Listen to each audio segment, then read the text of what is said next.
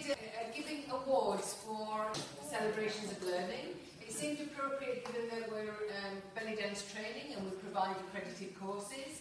What we did was about four months ago sent out to all of our teachers, asked them for nominations in three different categories. Yeah, last year's winner was Anne Hall over there.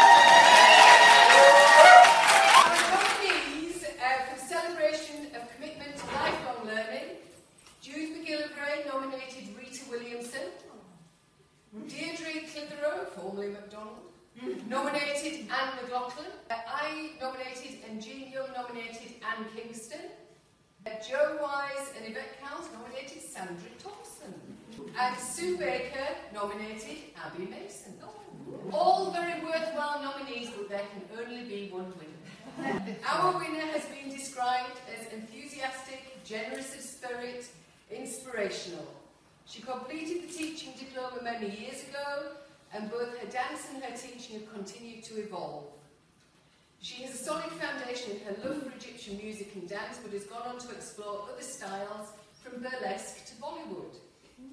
This person had a big influence in the development of the safety course. Despite no longer teaching on the courses, she continues to promote them and credits the JWAAD Teaching Diploma with giving her a solid foundation on which to build her teaching skills. Has always been inspired by Egypt and more recently Morocco, where she takes groups. This year's, in case you haven't guessed, uh, JWAAD celebration of commitment to lifelong learning goes to Anne Kingston. Anne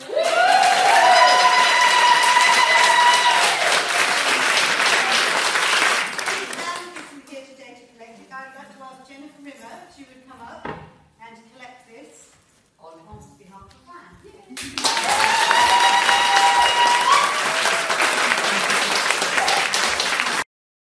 Our next award is the celebration of commitment to accredited learning.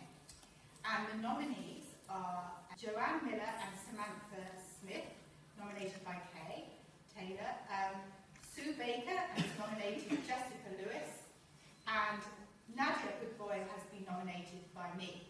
The winner had, this person was a member of a Bollywood dance company before she discovered Josephine Wise and Egyptian dance. And since then, she's dedicated herself to Arabic dance, training extensively and working on her technique while cultivating her own unique style. She's completed the JWAAD Performance course, the History and Culture course, and music course, and is about to do the Safety course and Teaching Methods course, the final module of the JWAAD Teaching Diploma. And this dedication to personal development has certainly paid off. She's not only a soloist with Jahara Dance Company, but she was also the winner of last year's.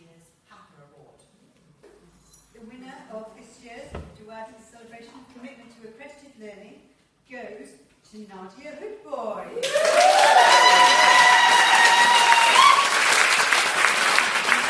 So since Nadia isn't here, I'd like to ask Claudia Clare to come up and accept this.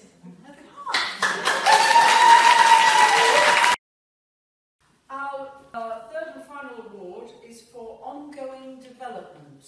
For that we have the following nominees. Rose Barter has nominated Edith Ferron. Kay Taylor has nominated Leslie Ann Dixon.